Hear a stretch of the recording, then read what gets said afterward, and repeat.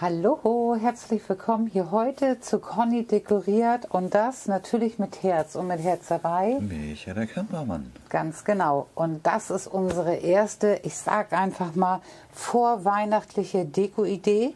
Ganz natürlich mit wirklich wieder Materialien hier aus dem Garten und ja, mit Sachen, die man am Wegesrand findet. Und ihr Lieben, wenn ihr wissen wollt, wie diese vorweihnachtliche Deko funktioniert, bleibt dran, weil die zeigen wir euch jetzt. Das sind die Sachen, die wir heute brauchen für unsere Terrassendeko. Genau, und da fangen wir auch schon mal gleich an. Ich habe hier ein paar Terrakotta-Töpfe. Da haben wir ganz viele Kräuter in diesem Jahr im Sommer gehabt. Die habe ich einfach nur ein bisschen abgeputzt. Ich habe gerade nicht so viele Kerzen. Ich habe noch gar keine großen Kerzen besorgt. Habe einfach die jetzt genommen, die ich gefunden habe. Da habe ich einmal eine große Echtwachs-Stumpenkerze. Dann habe ich zwei in weiß und ich habe hier auch noch eine Echtwachs-LED-Kerze mit Timer. Auch die haben wir auf Hof Oelkers. Guckt im Online-Shop. Die Kerzen haben wir, glaube ich, auch eingepflegt, ne Micha? Ja. Genau, die haben wir drin. Dann haben wir bemooste Äste. Ich habe hier noch ein bisschen vom Bäummoos. Ich habe noch ähm, Plattenmoos und ich habe Lärchenzweige hier von unserem Baum. Dann habe ich eben noch diese kleinen Rostbäumchen habe ich gefunden. Ich habe hier Juteseil. Das denke ich, kann ich heute auch ganz gut gebrauchen. Und noch ein paar Zapfen und äh, zwei Äpfel habe ich noch für die Vögelchen. Und ich würde sagen, wir starten. Und natürlich nicht zu vergessen, das Wichtigste, die Pflanzen, das sind die Sukkulenten. Da habe ich noch zwei Töpfe gehabt, die hatte ich mir ja letztes Mal, da habe ich mir ein paar Töpfe besorgt, die waren relativ günstig. Und was ich noch habe, ich habe eben einmal diese Kiste und ich habe hier auch noch ein, eine Holzscheibe gefunden. Ihr könnt aber auch ein Tablett oder einfach nur eine Holzscheibe nehmen. Guckt einfach mal, welche Größen ihr habt oder was ihr so zu Hause ja, was ihr so zur Verfügung habt. Und ich würde sagen, wir starten und ich lasse auch schon hier meine Holzscheibe hier einfach so auf meiner Kiste stehen. Und ich würde sehr gerne schon mal die Anordnung machen mit meinen Terrakotta-Töpfen. Und ich habe mich da für die großen entschieden, weil ich finde jetzt gerade hier mit dieser Kiste passt das ganz gut. Und die stelle ich mir jetzt hier schon mal in Position. Ihr könnt die natürlich auch wunderbar ankleben. Das heißt, wenn es irgendwo ja, steht, wo es windig ist oder kippen kann, dann ist es natürlich optimaler. Aber ich denke, so für uns heute reicht das vollkommen aus. Und dann fange ich schon an. Ich nehme hier erstmal das Plattenmoos und das lege ich mir hier schon mal in meine Töpfe rein.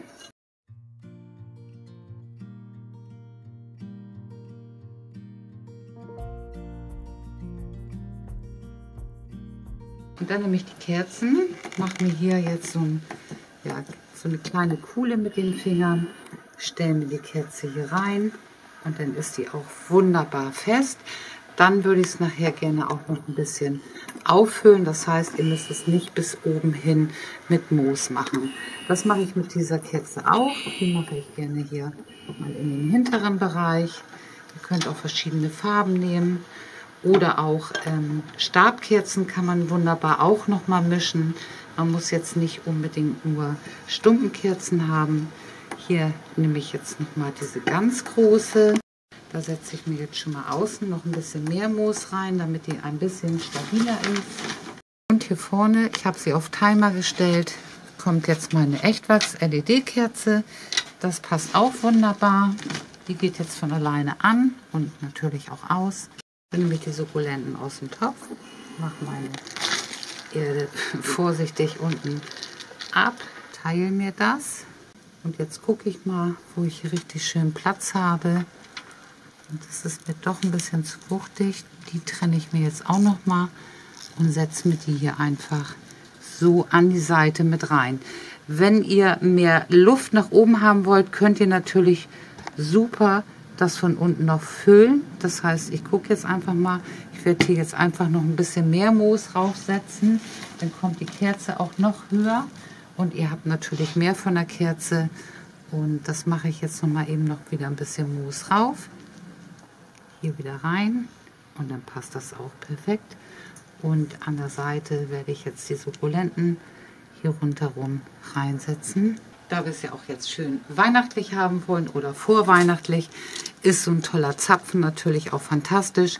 Ich mag die hellen ganz gerne. Den würde ich jetzt hier einfach so in den hinteren Bereich statt Sukkulente nochmal so dazusetzen. Und auch jetzt hier bei meiner LED-Kerze, auch die nehme ich doch nochmal ein bisschen hoch. Da kann man natürlich jetzt so schön spielen von der Höhe her. Immer nochmal ein bisschen was unter, äh, unterfüttern. Und auch die Sukkulenten hier kommen schön an die Seite mit rein.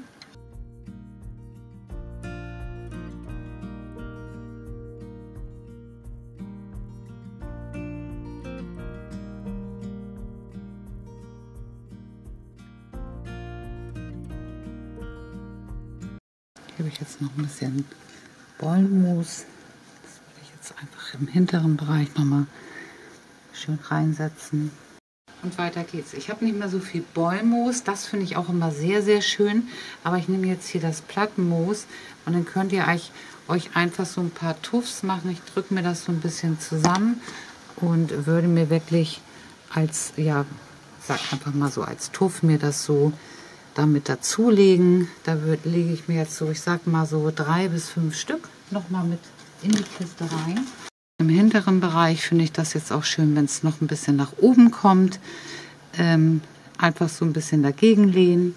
Und auch im vorderen Bereich einfach so oben rauf. Zwei Äpfel habe ich.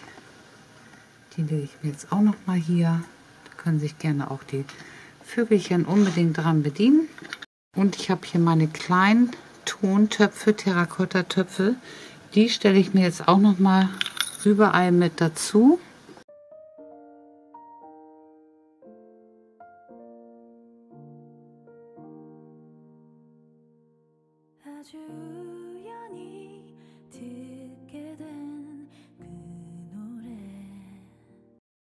Paar kleine Sukkulenten gefunden und auch die kommen jetzt hier in unsere schönen Terrakotta-Töpfchen. Einfach nur ein bisschen reingedrückt und hier mit draufgesetzt. Ich glaube, ich habe hier so drei Stück, habe ich schon fertig. Die beiden werden jetzt auch noch gefüllt. Jetzt wird es richtig schön. Zimtstangen. Wir lieben Zimtstangen. Die riechen wirklich fantastisch. Und ich habe hier mal drei Stück. Da schneide ich mir jetzt eben noch mal ein Stück ab. Beziehungsweise ich gehe jetzt ein paar Mal mit meinem Juteband rum. Nehme mal eben eine Schere, schneide das ab. Und dann können die Zimtstangen hier wunderbar in dem hinteren Bereich, finde ich total schön, einfach so neben die Kerze gelegt. Und die Rostbäumchen, die kann man jetzt hier auch noch mal wunderbar noch mal in die Töpfe mit reinstecken, auch in die kleinen Töpfe.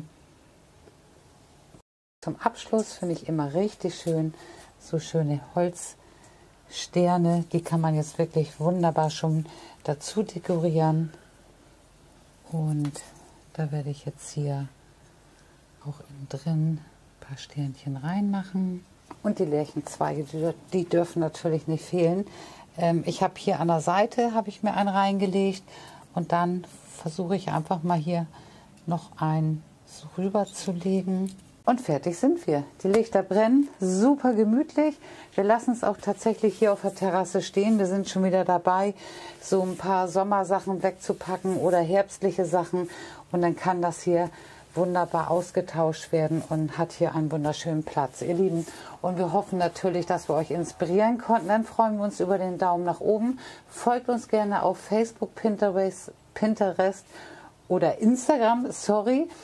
Und abonniert gerne den Kanal, das ist natürlich kostenlos. Und ihr bekommt immer kleine, schöne, natürliche Deko-Ideen. Also ihr, Lieben, also ihr Lieben, also sagt mal, Wortfindungsstörung heute. Es ist vielleicht schon ein bisschen die Kälte, aber egal. Wir freuen uns, die Tage wieder mit und für euch zu dekorieren. Bleibt ganz doll gesund. Eure Conny und... Euer Micha, euer Kameramann. Ganz genau, ihr Lieben. Und natürlich die Fellnasen und besonders auch Laura. Bis dann. Tschüss. Tschüss.